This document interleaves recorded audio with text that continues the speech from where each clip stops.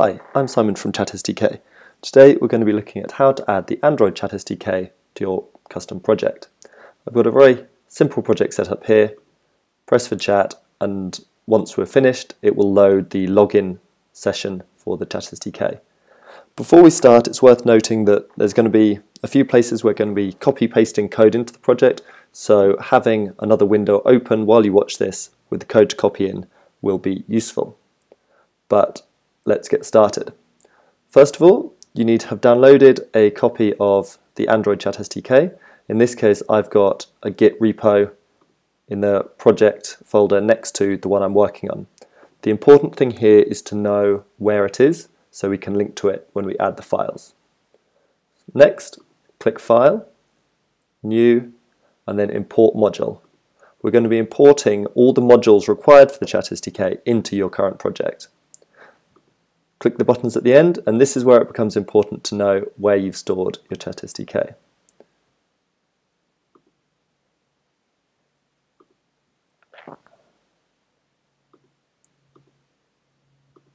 So here I have found mine here.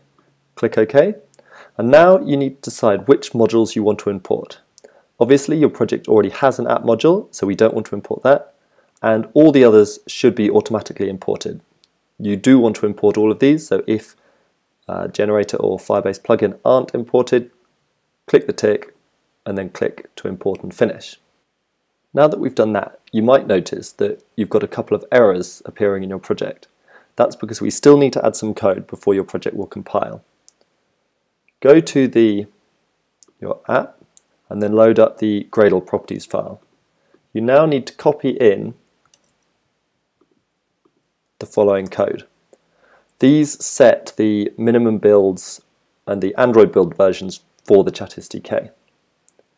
Next, you need to load up your build.gradle file and the project one. You'll see in the documentation that there's a few specific lines that you need to add. The first is in the repositories section. You need to make sure you have the JCenter and the Maven Central. Next, you need to make sure you have the correct dependencies. It's worth noting here that as of this tutorial being written, the dependencies are at the correct ones. It might be that you need to tweak them a little bit as later versions come out. Now, when you compile and sync, the project should compile as hoped. What we need to do next though is add a little bit more code to ensure that the project runs properly. So load up your build.gradle module app and then add the following line to make sure we have access to the Firebase plugin as so. So now we've added the Chat SDK to your project now we want to actually load the Chat SDK on a button click. Load up your main activity and before we add the button code we need to add the following code. We will copy it in. The importance of this code is that it actually starts the Chat SDK when your app runs. There's a few different things that happen in the background with the network manager and the ChatCat network adapter that set up the Chat SDK when your app loads. And so this code needs to be added in the onCreate method of your main activity so that the chat is ready to go when you want it to. You also will need to add a couple of imports to ensure that the app knows where to look for these specific things. If you're still getting red, then it'd be worth syncing your files with Gradle just to ensure that it knows where everything is. Now that that's done, the last thing we need to do is load up the Chat SDK when we run the app. So as you can see here, I've got an on-click listener waiting for the button to be pressed. So in this case, we want to create a new intent and then start the chat SDK login activity when it's been pressed. It's worth looking through the code again as there's a slightly different way to do this if you're loading it not from the main activity but it's pretty similar. The last thing we need to do is load up the Android manifest and add an activity so the app can load login activity.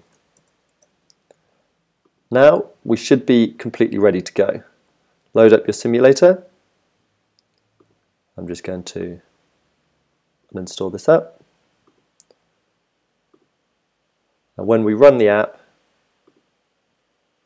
it should load the app, and when we press the button, it will load the chat ready for login.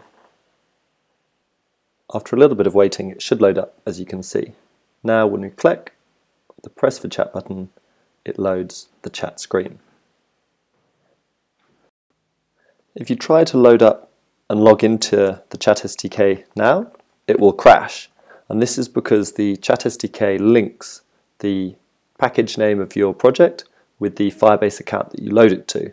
In this case, you've got a new package name for your custom project and you're trying to log into our test accounts on Firebase. They won't be configured, so the app won't log in. In the next tutorial, we're going to be looking at how to configure the Chat SDK and the Firebase account on Android. Uh, I hope you enjoyed this tutorial and found it useful. Uh, feel free to subscribe or like this video and look out for more in the future. Thanks and bye bye.